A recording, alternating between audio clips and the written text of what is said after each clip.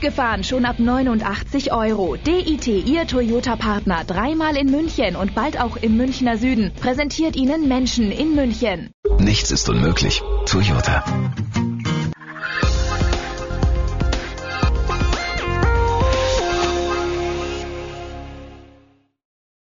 Herzlich willkommen, liebe Zuschauer, zu Menschen in München. Heute vom Schliersee, vom wunderschönen Schliersee und zwar von dem Bauernhofmuseum von Markus Wasmeier, dem bayerischen Skiidol. Von ihm wollen wir uns jetzt nochmal erklären lassen, wie es zu diesem Bauernhof gekommen ist, was er da alles machen musste, damit es jetzt hier zu einer Touristenattraktion geworden ist.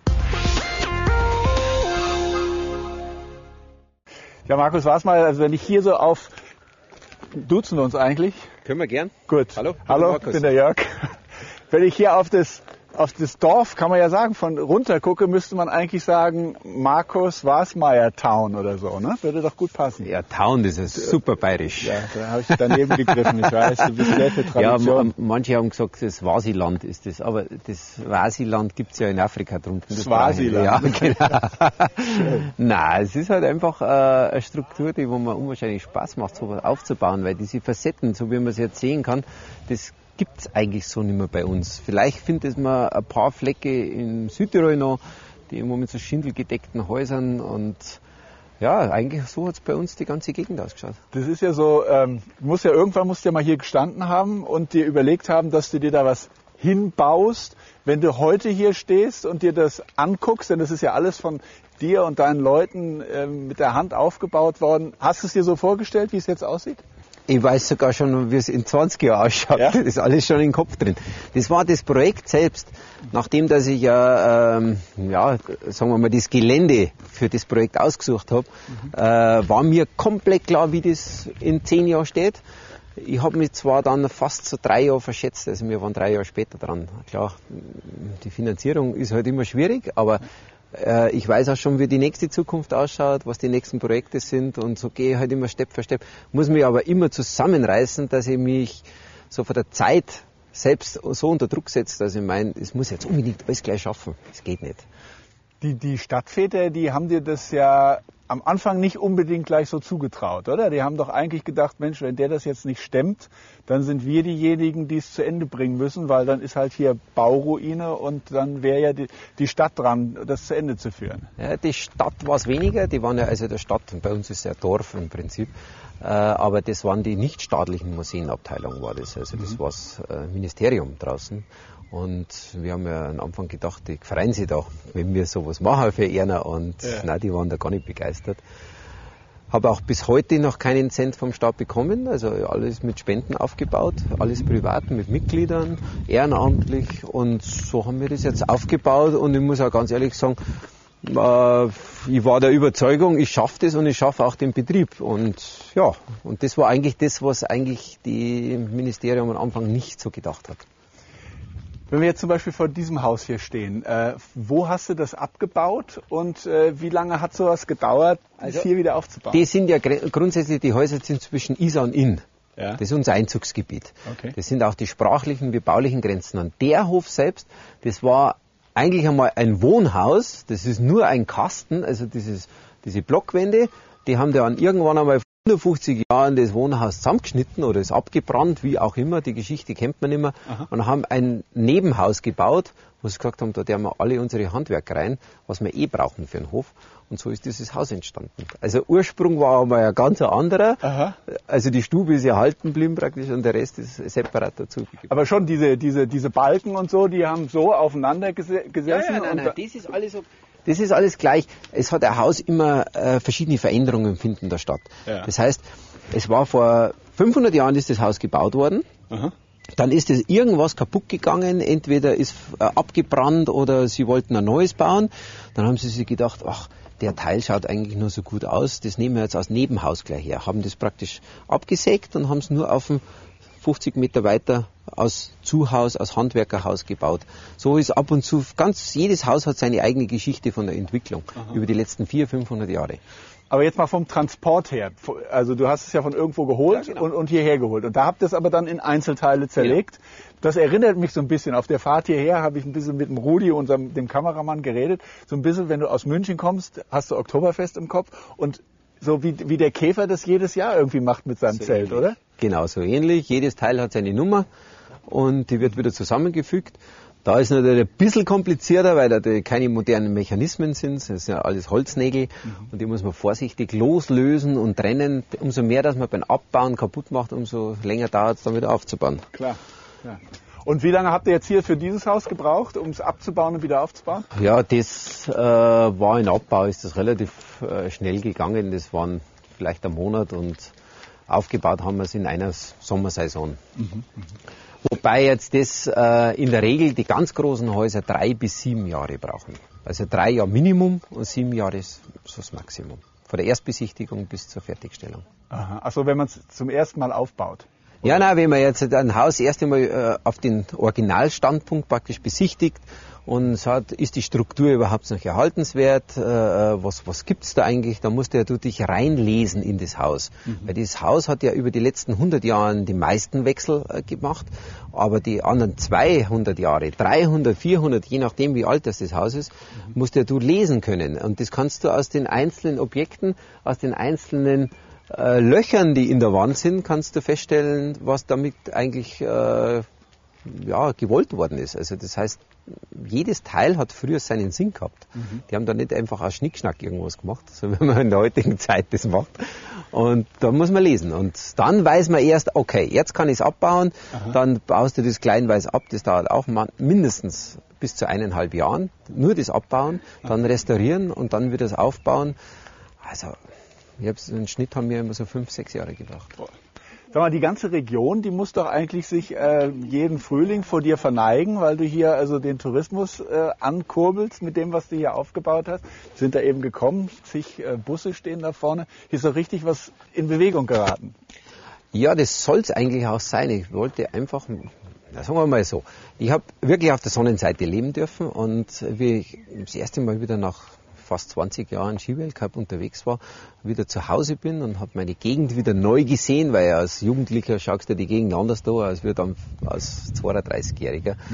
Und dann habe ich festgestellt, hoppla, unser Kulturgut geht so verloren. Andere Länder wie Norwegen, sogar in Amerika drüben wird diese kleine Kultur, die wohl bis 100 Jahre alt ist oder 150 Jahre alt, mehr erhalten und erzählt als wir bei uns. Und somit habe ich dann die Häuser gekannt, die wo also vor dem Verfall sind und so ist die ganze Idee entstanden. Da wollte ich einfach meiner Heimat wieder was zurückgeben. Das natürlich das mit dem Tourismus und mit der Gegend zu, ja, wieder zu florieren, dass man eigentlich ein, ein Teil aufbaut, das, ja, sagen wir mal, frei ist von der Zeit. Das ist in 50 Jahren noch genauso interessant als wie jetzt. Ja, ja. Die, ja. Das werde immer mehr verloren gehen. Also es ist jetzt nicht höher, weiter, schneller, mhm. sondern das ist eher wieder zurück auf den Boden der Tatsachen zu kommen. Hat das was mit, mit dem Skifahren zu tun, wo du natürlich, äh, also 20 Jahre hast du schon gesagt, dein, dein, dein Leben für, für gewidmet hast? Dieses, da, da ging es ja ums schneller, weiter und, und, und da warst du ja sehr in der Dynamik drin, die man dann so hat als Skifahrer, dass man die ganze Welt bereist. Äh, da hast du ja irgendwann dann mal die Bremsen eingehauen und jetzt hast du dich sozusagen hier festgefahren. Nein, es war eigentlich eher immer der Wechsel. Ich bin ja schon so aufgewachsen. Ich wohne ja selbst in so alten Häusern. Das war meine Insel eigentlich. Das war, sobald ich nach Hause gekommen bin, war Skifahren einfach passé. Das hat es gar nicht gegeben, das Thema. Das war immer nur Heimat und das, was eigentlich mit Traditionen und Kultur verbunden hat. Ich habe selbst Musik gemacht und äh, das sind halt so meine Inseln, meine Kraft wieder zu tanken. Und dann bin ich wieder raus in die Welt.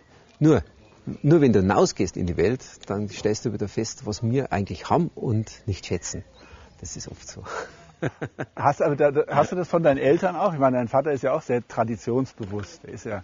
auch hier mit der Kunst sehr verwoben. Ja. Ist das, kommt, kommt es daher? Also das, das musstest du dir nicht völlig neu erarbeiten.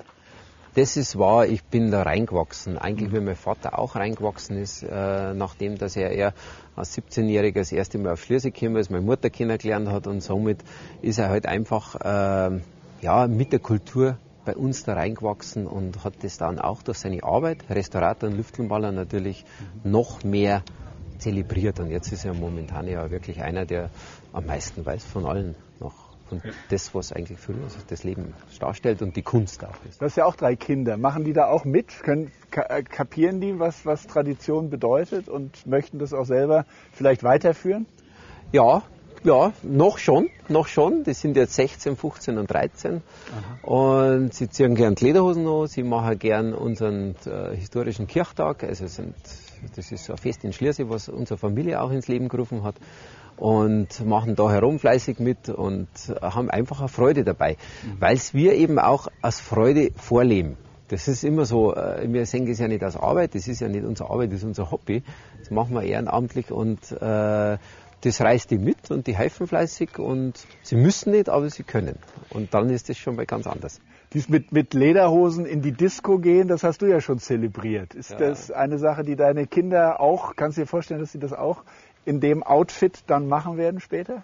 Es kommt darauf an, mit was für einem Freundeskreis, dass sie dann zusammen sind. Jetzt momentan ist ja Disco noch out. Mhm.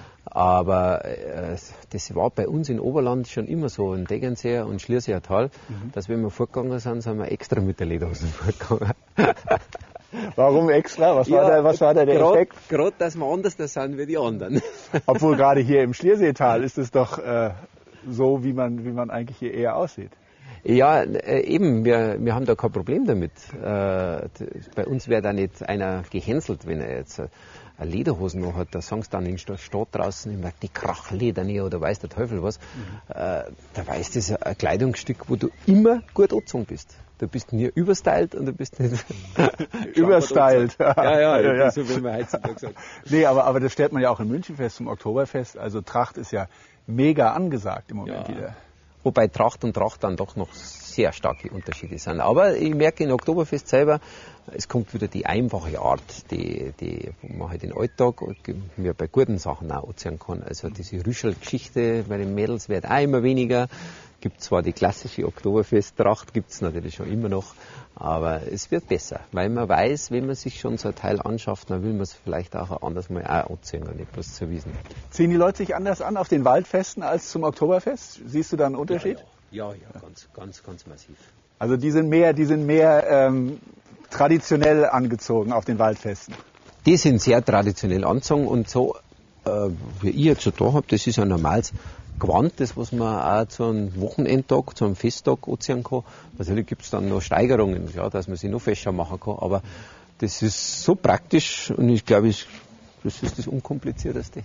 Und man fühlt sich wohl drin.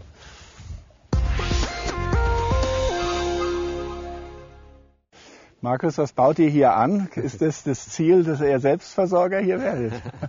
Das sollte eigentlich äh, das darstellen, wie es früher äh, die Bewohner von solchen Häusern praktisch sich selbst verpflegt haben. Mhm. Jetzt ist natürlich noch nicht ganz so grün, weil wir jetzt sind wir erst im Mai, aber äh, es wird schon. Das wird dann im Herbst ein prachtvoller Garten. Also, da ja. kann man gut, gute Ernte ziehen.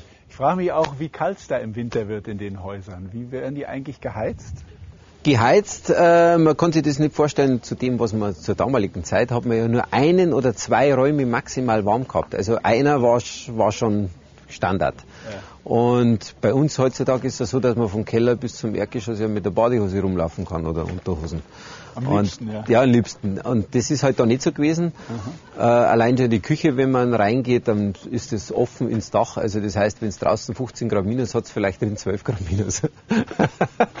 Aber man, ja, die haben halt härter gelebt. Also das ist schon auch ein, ein, ein ja, sagen wir für mich eine Herausforderung, den Menschen zu zeigen, die wo jetzt als Besucher da sind, dass wir in einer super gute Zeit leben und nicht immer jammern sollen, sondern die haben damals wirklich ums Überleben gekämpft. Und wenn es äh, die schlechte Ernte war im Sommer, dann haben die verhungert im Winter. Also das war nicht so einfach. Erzähl du mir nochmal, wie du angefangen hast mit dem Skifahren, weil ich habe jetzt gelesen, dass du als Dreijähriger schon auf dem Skiern standst. Zweijähriger. Zweijähriger. Sogar, ja. Und, äh, ich war chancenlos. Meine Eltern wollten unbedingt zum Skifahren gehen und dann habe ich mit müssen. Machst, machst du das mit deinen Kindern genauso? Äh, der, ich habe ja drei Buben und da hat der erste mit drei Jahren angefangen. Das ist eigentlich ein gutes Alter, weil da haben sie genügend Kraft, sich selbst aufzustehen, also wenn sie hinfallen. Mhm. aber der, der zweite, der ist ein Jahr jünger, der wollte mit zwei, der hat dann der hat nicht mehr geschlafen, gar nichts mehr Mittag, sondern der hat gedacht, ich versäumt was und dann war der mit zwei schon dabei. Ich habe meine, Also- ich hab meine Kinder immer so äh, am Anfang getragen, bevor die so selber stehen konnten. Wahrscheinlich, weil sie zu alt waren, oder? Die waren schon so fünf oder sechs, als ich so drauf Das hat ihnen gefallen, dass du das gehalten hast. Wahrscheinlich. bei, bei, bei meiner dritten habe ich es nicht mehr geschafft. Ja, wieder da hat man dann Rückenprobleme gehabt. Nein, es ist grundsätzlich so, dass, dass man die Kinder alleine sausen lassen soll und gar nicht bergab, sondern nur in der Ebene. Bei uns sind zum Beispiel die Kinder, die haben selber einen Spaß gehabt und haben dann die Ski in Sommer angezogen und sind in der Wiesen rumgelaufen. Und da alleine bekommen sie mit, wie die Spitzeln, dass sie nicht über Kreuz bekommen und so weiter. Und so hat sich das entwickelt. Also Du bist ja auch noch aus einer ganz anderen Zeit, wo, wo, wo diese Pisten nicht so ganz platt gemacht waren. Wenn du heute Ski fährst, gell, ist doch alles platt. Und früher gab es doch diese Buckel nach drei, vier Tagen, wenn es dann richtig geschneit hatte oder so, gab es nur noch Buckelpisten. Was ist denn da besser, um Skifahren zu lernen? Ich glaube, dass wir schon zur damaligen Zeit die vielseitigeren Skifahrer geworden sind, die sie mehr im Gelände zu fahren. Ich merke das ganz extrem zum Beispiel bei einer Skifahrerin, die Rosi Mittermeier. Die Rosi, wie die heute noch Skifahrt, ja, äh, in jedem Geländeform, das ist genial. Die jetzigen Rennfahrer, die können nicht im Gelände fahren. Keine Chance. Weil Das sind nur Rennfahrer, das sind Ja. nur wirklich Formel 1 Fahrer. Das ist Genial, sind ja extrem, aber so mal Buckelpisten zu fahren oder äh, gar irgendwo in einem Bruchhaus noch zu, äh, irgendwo im Gelände, da haben sie die verdammt hart. Das fahren, die Leute fahren auch viel schneller heute. Ne? Ich meine, der normale Skifahrer auf diesen, auf diesen plattgemachten Pisten mit den Carving-Skiern kann man ja ganz anders runterbrettern als, als früher, als es buckelig war und, und, und, die, und die Ski auch noch nicht so. Wir haben zwar auch Stundenkilometer 130, 140 gehabt. Zu meiner Zeit, mein schnellste war über 150. Nur ähm, hast du halt einfach diese aerodynamische Form, diese Eiform, diese Abfahrtshocke nicht immer halten können, weil das hat dich ja immer irgendwo wieder weggespickt.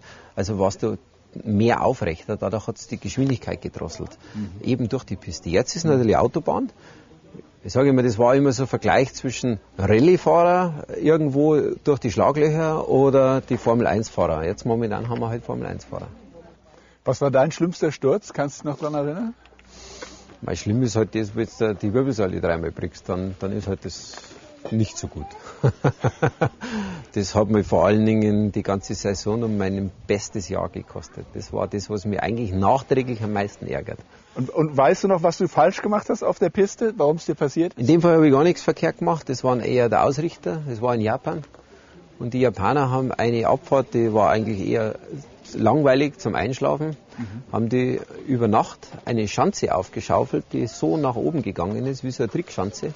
Und es hat zur damaligen Zeit noch keine Besichtigung vorher mehr gegeben. Und da aber alles langweilig war, haben die Trainer auch nicht besichtigt, die sind im Kaffeehaus gesessen, weil es war eh nichts zum Anschauen. Aber dass die über Nacht das gebaut haben, haben die auch nicht gesagt. Und ich bekam dann, ich habe Startnummer 10 gehabt und vor mir hat sieben andere geschmissen an diesen Sprung. Und keiner hat diesen Sprung verändert und ich kam halt auch und ich habe mir die Wirbelsäule gebrochen. Die anderen sind mit Prellungen rausgegangen. Dafür bist du aber jetzt wieder sehr gut fit, oder? Merkst du noch was an der Wirbelsäule? Mm, Nein, muss ich sagen, wetterfühlig vielleicht ein bisschen, aber geht. Ein bisschen kleiner bin ich geworden. Jetzt musst du uns erklären, was hier abgeht. Große At äh, Touristenattraktion. Ja, vor allen Dingen für die Kinder ist das ja ein Traum. Man sieht ja die ganz Kleinen jetzt, äh, die dürfen jetzt mit Filz arbeiten. Und das ist praktisch die Wolle, die äh, gekämmt worden ist.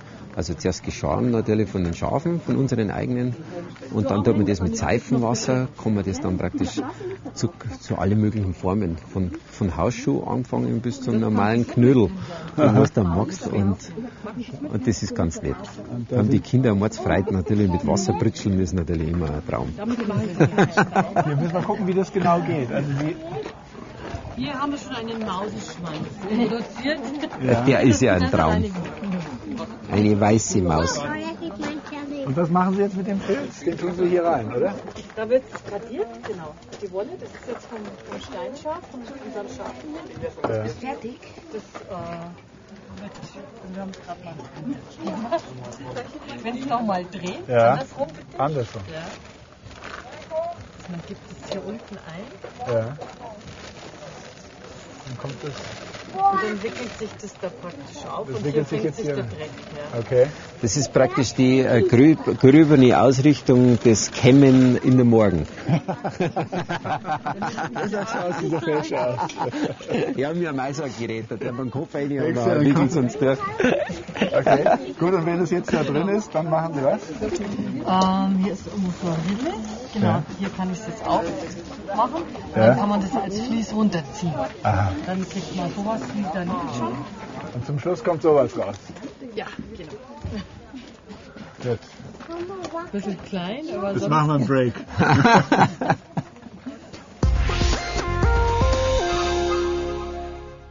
Abgefahren schon ab 89 Euro. DIT, Ihr Toyota-Partner, dreimal in München und bald auch im Münchner Süden, präsentierte Ihnen Menschen in München.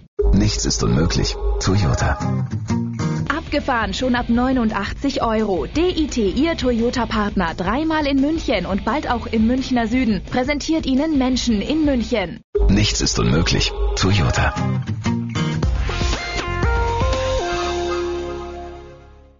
Markus, wo hast du uns jetzt hier hingeführt? Das ist jetzt im Lukashof herin die historische Küche, die Rauchküche. Okay. Und das ist bei uns der große Unterschied. Bei uns ist wirklich so, dass jedes Feuer brennt. Jeden Tag, so wie es früher eigentlich auch war. Das war also die Küche, wo die Hausfrau jeden Tag gekocht hat. Und man muss sich mal vorstellen, wie der Rauch, es gibt ja keinen Kamin. Der Rauch zieht also frei unter das Schindeldach. Das schaut man, wenn man darauf sieht. Ja. Und da oben sind die Stangen für den Speck. Und somit wird es praktisch dann entweichen. Wo geht denn der Rauch dann raus? Zwischen die Schindeln geht der irgendwo raus, der sucht sich seinen Weg. Wenn es Tiefdruck hat, dann druckt es ihn auch dementsprechend runter. Und dann sucht er oft den Weg dann äh, Richtung Türe und dann ist es ziemlich nieder. Da muss man eher so gehen. Also Aber man- das haben die früher die Leute, jeden Tag ja. haben die das gehabt. Und, da, und daneben haben sie geschlafen. Ich meine, das kann ja auch gefährlich werden, oder? Wenn der Rauch dann da ins Schlafzimmer zieht. Also, gefährlich ist es gar nicht, weil das ist so viel Falschluft da, dass also da gar nichts anbrennen kann. Gefährlich wird es, wenn Schmalz gebackenes gemacht worden ist, weil früher haben wir sehr viel mit Fett gearbeitet und wenn das natürlich gebrannt hat, dann haben wir es fast nicht mehr löschen können. Das heißt nur mit Sand löschen können, weil mit Wasser kannst du kein Fett löschen, wenn es brennt. Da sind viele Häuser abgebrannt. Das ist ein ganz ein typisches Bett, ein E-Bett übrigens, gell, also Doppelbett. Also bei mir würden die Beine immer ungefähr hier noch raushängen. Ja, aber die waren früher so, dass man gesagt hat, man darf nicht flach liegen, man muss sitzen. Ja. Und dadurch, wenn man natürlich ein großes Bett hat, wäre man ja runtergerutscht und dann hätte man also im Liegen geschlafen. Wie, die haben im Sitzen geschlafen? Ja, weil nur die Toten liegen und wenn man liegt, dann wird man deppert. Also ist man gesessen, darum haben wir ganz viel Kissen und die Strommatratze selbst, die ist ja auch so, da ist ein Stroh drunter. Also das ist ja eher wie ein U-Hackerl ist man da gelegen. Und das Baby hat immer daneben gelegen. Das Baby hat da glücklicherweise sogar eigenes Bett gehabt, was ja eher selten der Fall war. Guck mal, aber das ist doch gespenstisch, wie viel wir gewachsen sind, oder? Nein, es hat eigentlich mit vielen anderen zu tun. Es gibt äh, ein Hauptgrund ist, dass die Kälte, umso größer die Türe ist, mehr reindringen kann. Also umso kleiner das Loch ist, umso besser. Auch bei den Fenstern so. Äh, dann war es aber auch so bei Burgen und Schlössern, wenn man da die großen Tore reingeht, dann muss man immer durch das kleine Tor gehen, immer bückenderweise. Das heißt eine Ehrverbeugung auch vor den Raum, den man mal betritt. Das hat ja auch so ein bisschen äh, eigentlich heidnisches. Hat das noch das, was immer noch Bestand bleibt. Du meinst, wir Menschen sind nicht im Allgemeinen etwas größer geworden? Die Aber sind teilweise dazu, im ja? Schnitt sind die auch äh, um die 1,80, 1,75 gewesen, also so viel kleiner waren die nicht. Nur der Raum, umso größer das er ist, umso schwieriger ist er zu beheizen. Und Ja, ja. er kostet auch mehr Geld, weil man muss sich mal vorstellen, man muss ja immer wieder eine Balkenreihe mehr draufbringen. Das heißt, mehr Bäume braucht man, mehr Arbeit ist es und dadurch ist es natürlich schwierig. Und das ist jetzt hier ein Kachelofen. Ne? Mit was wird der geheizt? Mit Holz. Der wird mit Holz beheizt. Das ist also ein Sesselofen, nennt man das. Das ist jetzt das Backrohr. Diesen Ofen, den gibt es jetzt seit diesem Typ seit 1700. Und der Hof ist ja 1500 entstanden. Das heißt, da war eine ganz andere Ofenform. Das war eher so ein Tonnenofen. Und der ist natürlich genial gewesen, weil da hat man gleichzeitig auch äh, was wärmen können, weil es ja wie ein, ja, wie ein Herd ist. Das war also schon sehr Luxus. Und diese Stangen da zum Beispiel, die waren dafür da, das ganze Rossgeschirr, also alles, was für die Pferde war, zu trocknen. Darum waren die so schwer. Jetzt muss man sich mal vorstellen, jetzt hat man diese Stange, dann trocknet man selbst seine Lederschuhe, das sind ja mehrere Leute auf dem Hof, da unten drunter sieht man die Hühner. Hast du das auch geruch, Also ich wollte gerade sagen, normalerweise müsste man mal so einen Raum darstellen, alleine wie das gestunken hat. Ja, Wahnsinn. Aber das war der einzige wärmste Raum. Der ist warm geblieben und da hat sich alles aufgehalten. Deshalb sind die Fenster auch wieder so klein, gell? damit er auch möglichst... Die sind ja um 1700 hat sich der Hof ja vergrößert, das heißt, da sind diese Größe vom Fenster gekommen. Und vorher waren es ja nicht einmal ein DIN A5-Blatt, war vorher das Fenster. Zwar mehrere, aber äh, das war wie eine Höhle war das. Ja. Aber klar, man hat kein Glas gehabt. Das erst um 1700 haben sie sich Gläser leisten können. Klar, im Kloster haben sie es natürlich schon vorher gehabt. Aber äh, somit war das natürlich nur den reichen Leuten äh, äh, bevorzugt. Das zum Beispiel, weißt du auch nicht kennen, Warte mal, lass mich mal raten. Nee. Das hat nichts mit Essen zu tun. Das ist das älteste Licht, das es gibt. Licht. Das ist ein Kienspan. Das ist praktisch der Span selbst, der ist angezündet worden, ist da schräg eingeklemmt und dann ist der da raufgebrannt und die Asche, die praktisch dann runtergefahren ist oder die Funken, die sollten dann reinfallen. Ist natürlich auch nicht immer so passiert. Immer, geglüht, ne? Genau, das war der Vorläufer der Kerze. Ist, äh, Habe ich wieder was gelernt. Ja. Also das finde ich jetzt interessant, dass wir uns mal verschiedene Küchen anschauen können, so in den verschiedenen Jahrzehnten, wie sie, welche Funktionen da waren. Ja, der, der ausschlaggebende Punkt war ja der Strom, ist für mich die größte Erfindung überhaupt für die Menschheit, wie das Rad ähnlich.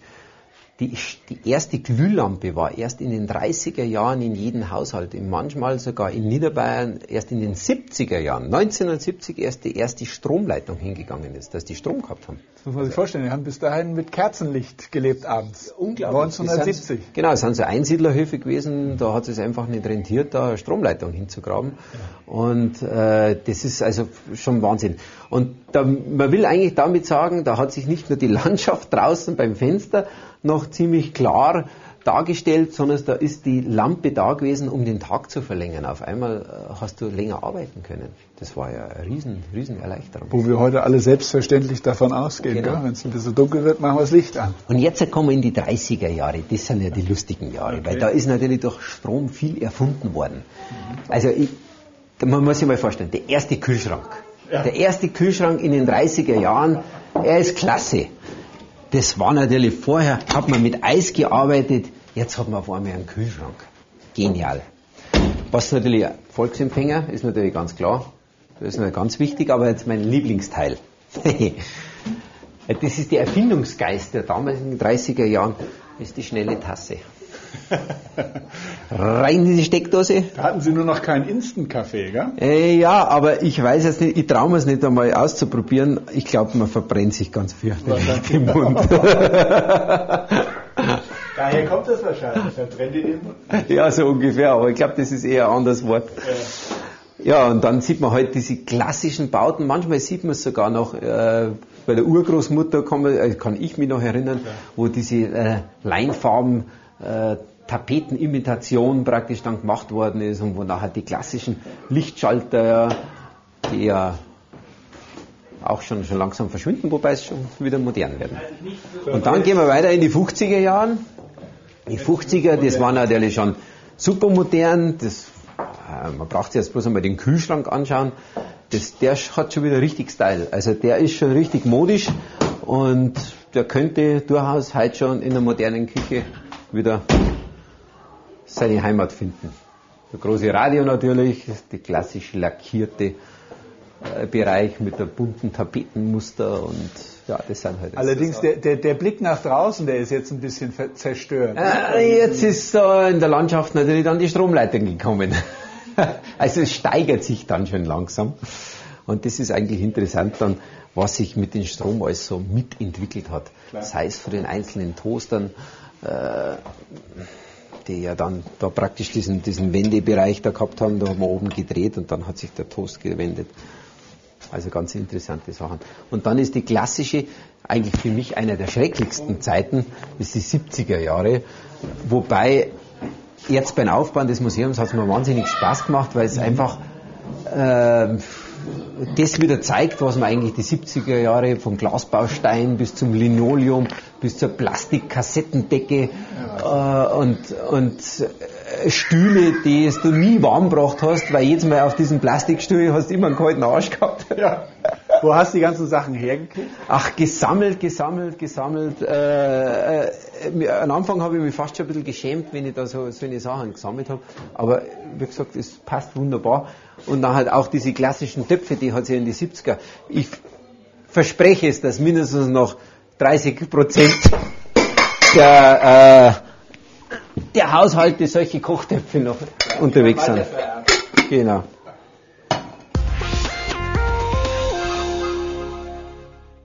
So, und jetzt kommen wir hier in die Straße hinein.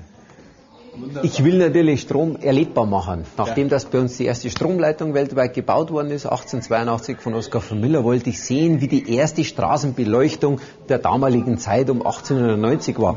Und das sind die Originallampen mit den Glühbirnen. Es war nicht heller. Es war einfach die Zeit, ja, zu, zum Gas wahrscheinlich noch eine Revolution. Vor allen Dingen hat er ja auch von hier den Strom zu uns nach München gebracht. Genau, Gell? da war die Weltausstellung. Und dann hat er, aber weshalb er bei uns das gemacht hat, das weiß nicht, gell? Das möchte ich von dir jetzt wissen. Genau. Und weil wir die einzigen Bahnverbindungen mit Holzmasten gehabt haben. Also das heißt, diese, äh, neben der Bahn, diese ganzen äh, Masten, die waren aus Holz und vom Kochel aus waren sie in Metall schon, also aus Eisen und da hat er die Isolatoren nicht gehabt. Und darum schau. ist er von uns weggegangen. Und wo hat er ja, wo, wo wurde der Strom erzeugt hier? Im Miesbach durch ein Dampfross. Dampfross hat dann einen Generator äh, angetrieben, der 1400 äh, Watt damals produziert hat. Ist aber nur 10% dann in München angekommen und da hat er dann einen Wasserfall betrieben. Schickes Moped habt ihr hier noch. ja, ja, logisch, Dienstfahrzeug. Aber nur für, da, für die Straße da herum. So, und jetzt müssen, jetzt müssen wir unbedingt in die Abteilung gehen, die für Bayern ganz wichtig ist, nämlich dort, wo ihr das Bier braut. Genau, da gehen wir jetzt. Da müssen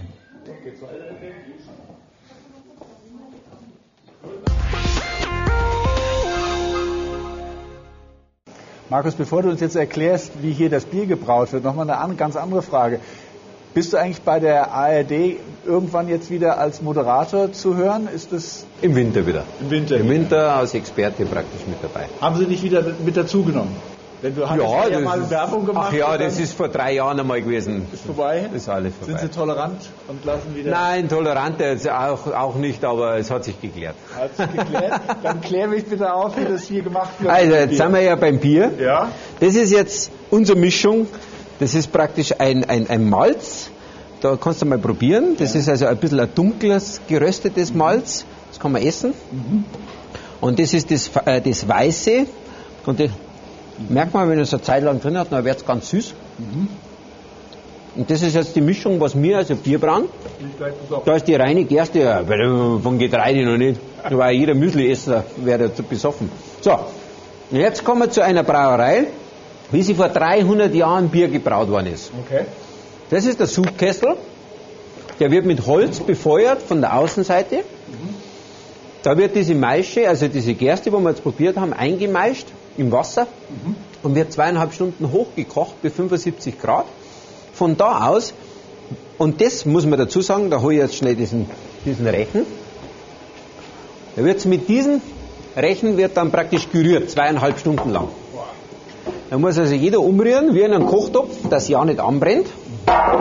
Und dann muss man das Bier, und darum heißt es eine Schöpfbrauerei, mit diesen Holzkübeln praktisch rausgeschöpft werden, in diese Rinne, und dann geht's rüber in den Läuterbottich.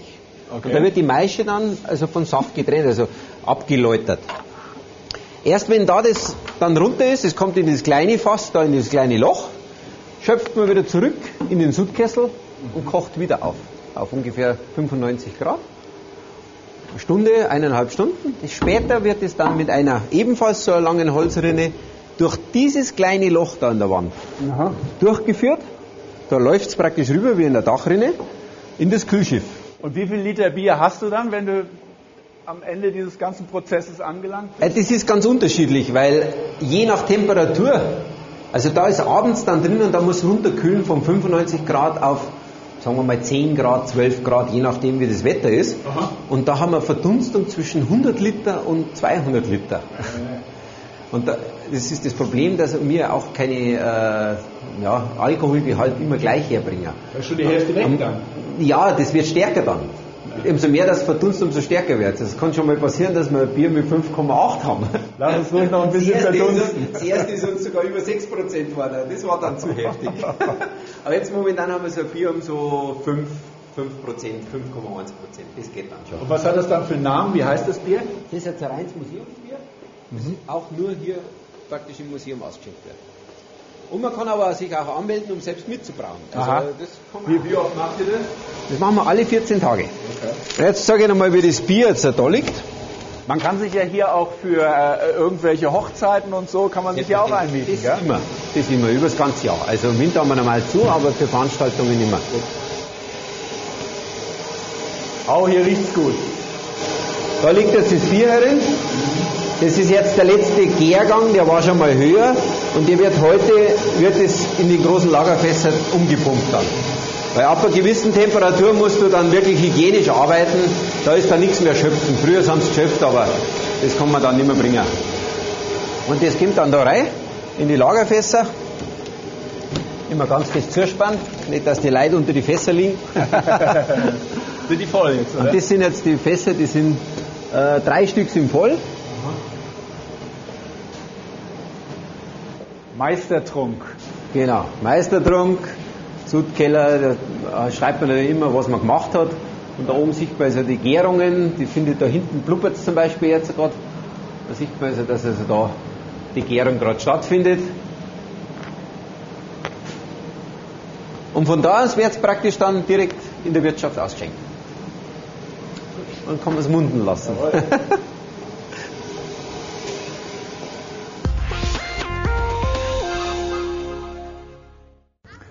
So, auf dieser Bank kann man sich jetzt den Markus Wasmeier auch so mit knappen 80 vorstellen, gell? Da sitzt er hier mit der Katze auf dem Schoß. Ja, dadurch, dass ich ja da Wirt geworden bin, weißt, äh, sitzt man natürlich in seiner Wirtschaft gern.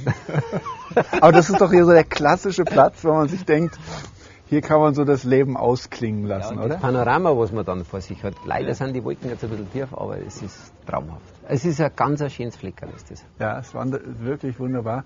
Ähm, sag mal, du hast ja dadurch, dass du dies hier also aufgebaut hast und so, ähm, auch, auch mit Politikern zu tun gehabt. Wäre das mal für dich ein Thema gewesen, mal so in die Nein. Politik zu gehen? Nein. Warum eigentlich nicht? Weil du das selbst nicht entscheiden kannst. Da müssen andere da mitentscheiden für das, was du oder gerne machen willst. Und darum wäre Politik für mich äh, lähmend. Weil bei mir muss gleich was passieren. Ich muss arbeiten können. Ich muss meine Idee verwirklichen können, das gleich machen. Und die, dass die Visionen, und wenn die die von einem anderen dann immer wieder runterbügelt werden, nein, das wäre kein Job. Charismatiker werden gebraucht. Ach, schrecklich, das ist ja schrecklich. Also ich, ich glaube, man muss geboren sein für einen Politiker. Äh, Das wäre für mich, ja, darum sind ja so wenig Unternehmer auch Politiker, weil sie halt einfach das gar nicht gewohnt sind, sich immer von anderen dann dreireden lassen. Bloß weil der eine Ja sagt, sagt der andere Nein. Vom Skifahren bist du jetzt so ein bisschen abgekommen, ne? Also da bist du eigentlich jetzt, dass du, dass du Leute trainierst oder dass du da also noch mit in diesem äh, Zirkus mitmachst. Das ist natürlich jetzt eine das lenkt schöne, natürlich immer ab. schöne Unterbrechung. Danke Zum schön. Wohl. Merci. Das schaut doch gut. Selber braut's Bier. Selber was das für eine Farbe Ja, ganz toll. Ist doch Und klasse. Das, das jetzt so gegen die Sonne. Ja, Wahnsinn, das ist ja, wie- ja Gold. Ja. also zum Wohl.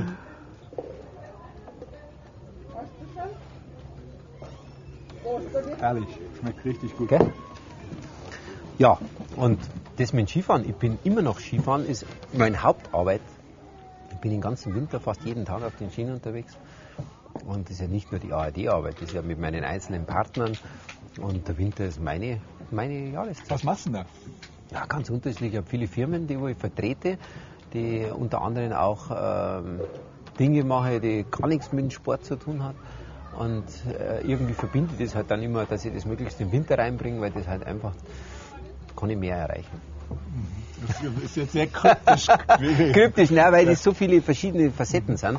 Und das macht es eigentlich, äh, der Spaß ist dran, dass du äh, viele Dinge organisieren kannst, begeistert äh, Menschen in die Berge bringst, in die Natur und dadurch natürlich viele Tore mehr öffnest, als wie wenn du jetzt irgendwo in einen Versammlungsraum reingehst und da irgendwas trocken erklären musst. Und so finden die Leute nicht zusammen. Aber so, so Talente finden, das könnte doch auch was sein, was, was, was du gut gut kannst, weil du so viel Erfahrung im Skifahren hast?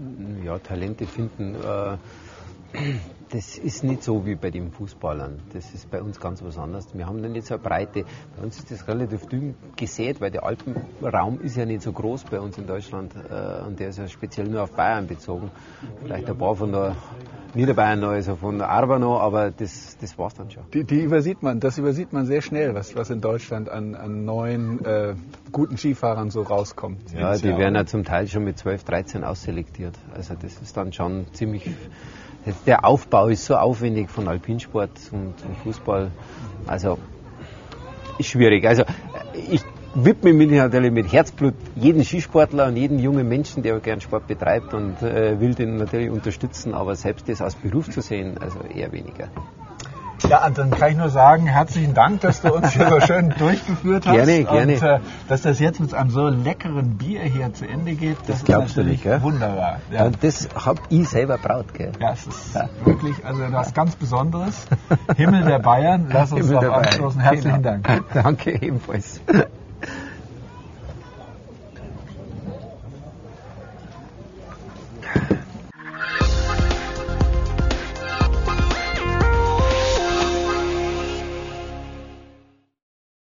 Abgefahren schon ab 89 Euro. DIT, Ihr Toyota-Partner, dreimal in München und bald auch im Münchner Süden, präsentierte Ihnen Menschen in München. Nichts ist unmöglich. Toyota.